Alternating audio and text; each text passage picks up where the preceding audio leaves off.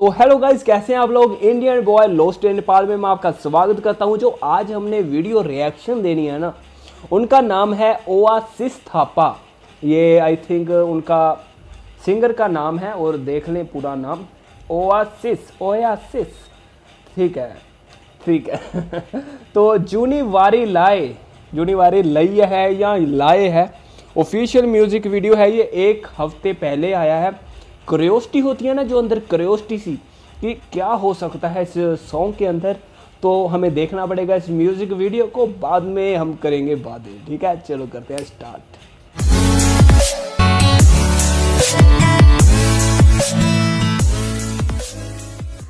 तो गाइज़ एक, दो, तीन करते हैं इस वीडियो को प्ले ओया से स्थापा जूनी बरी लाई निर्देशक भुजेंद्र टाइम टाइम ओ क्या बेल्ट है? बड़े बेल्ट बहुत अच्छे लगते हैं। आज पल्टाउँदैछु फेरि तिम्रो र मेरो पुरानो कहानीका पानाहरू दस्तक दिँदैछ है तिम्रो मायाले मेरो मायाको बंद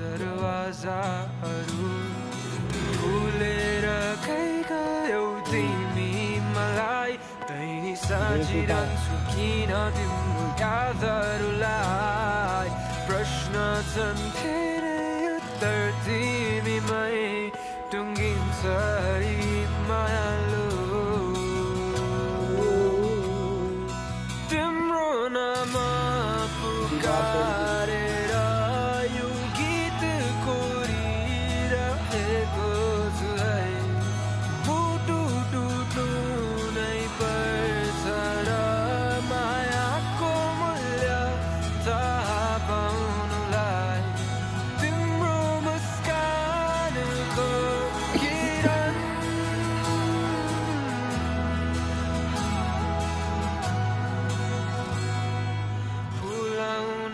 सके मैले भुलि जाउँला बोल जाऊला सके मतलब माया बोल गर्छु जाऊँ जुनीभरिलाई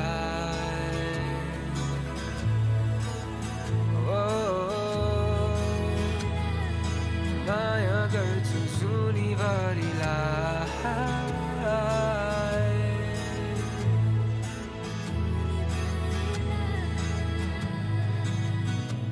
आज चुम्दैछु काला बादल पनि खोकुरो यो छातीमा बर्सोस् पनि। झुठो आश बोकी हिँडेको छु अनिश्चित बाटोमा परवाना गरी। भुलेर गयौ तिमी मलाई तैनी साँचिरहन्छु किन तिम्रो यादहरूलाई प्रश्न छन् धेरै उत्तर ये खुद सिंगर है ना ये?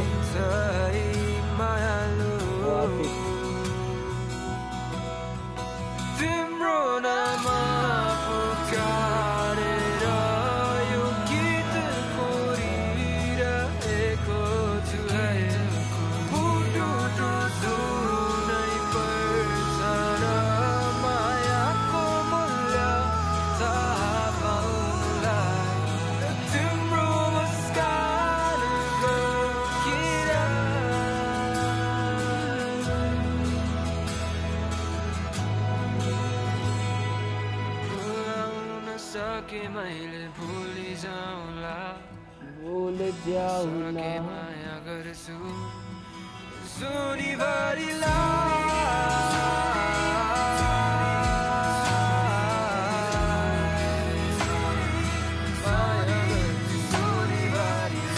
वो पीछे बैठी है ये आगे बैंड के साथ है। वो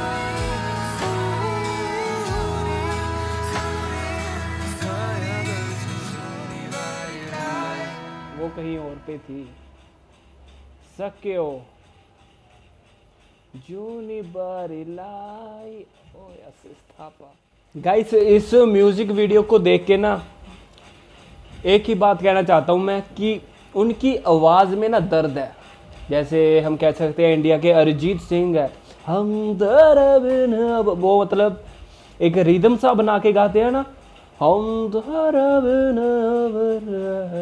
ऐसे, वैसे ही इनकी आवाज़ पे भी भारीपन है वो, पेन वाला। सा पता लगता है यार, जो कि सिंगर है। सच्ची में उनके साथ मतलब उनके दिल में बहुत पेन होगा और दिल से जब हम गाते हैं ना, वो पेन आँखों के सामने आता है, कानों के अंदर जाता है। फीलिंग जिस, जिसके पास पहुंचाना चाहते हैं, वो पहुँच जाती है। बाकी यार, सभी के साथ ऐसा कुछ हो ही जाता है, जैसे लड़ाइयाँ हो जाती हैं रिलेशनशिप के अंदर चल रहा होता है, लड़ाई हो जाती है, घर में प्रॉब्लम होती है, वैसे मतलब फ्रस्ट्रेटेड कहते हैं ना फ्रस्ट्रेटेड कहते हैं वो क्या होता है? तो वो हो जाता है। तो ये सारा मतलब पेन उन्होंने एक गाने के अंदर ऐसे मतलब मारा।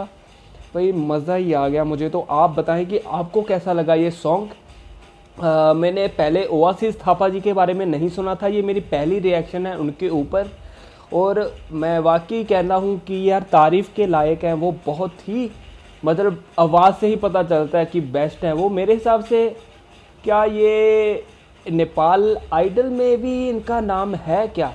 जैसे आजकल के सिंगर पहले आइडल वगैरह में जाते हैं, फिर मतलब ऐसे जाती है, उनकी किश्ती आगे की आगे, या फिर इंडिपेंडेंट हैं, ये ऐसे ही मतलब निकाल रहे हैं। पर बस मैं तो यही कहना चाहता हूँ कि कैसी मर्ज़ी आए हैं, पर आवाज़ में दम बहुत ही ज़्यादा है। मैं और भी वीडियोस देखना चाहता हूँ, इनकी प्लीज़ कमेंट सेक्शन में बताएँ ताकि हमारी भी नॉलेज गेन हो ओआसिस थापा जी के बारे में। और ओआसिस थापा जी को आप करें सपोर्ट उनको करें सब्सक्राइब और ओरिजिनल वीडियो को मैं हमेशा की तरह लिंक दे देता हूँ डिस्क्रिप्शन के अंदर वहाँ जाए और सपोर्ट करें। तो चलो मिलते हैं अगली वीडियो में, और भी वीडियोज़ बनानी है ना तो वेट करो।